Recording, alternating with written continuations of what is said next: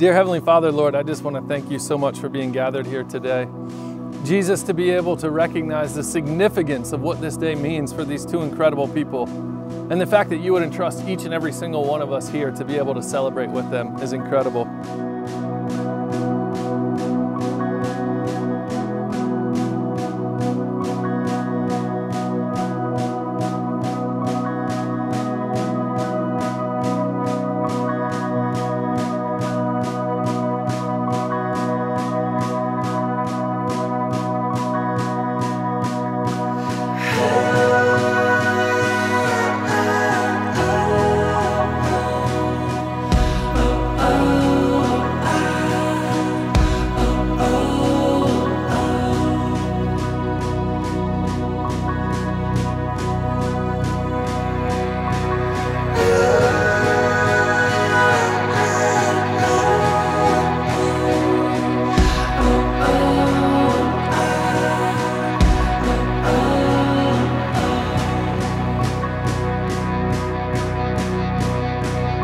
God wanted me to do for you two was to encourage you that for each one of you, you're called to be an armor bearer for one another.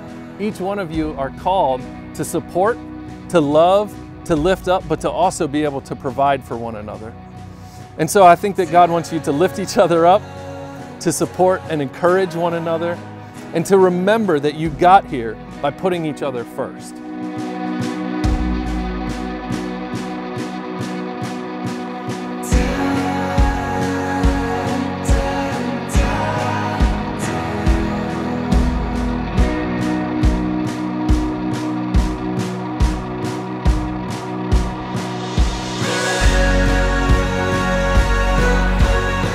Kevin and Robyn, you have now expressed your love to one another through the commitment and promises you have just made.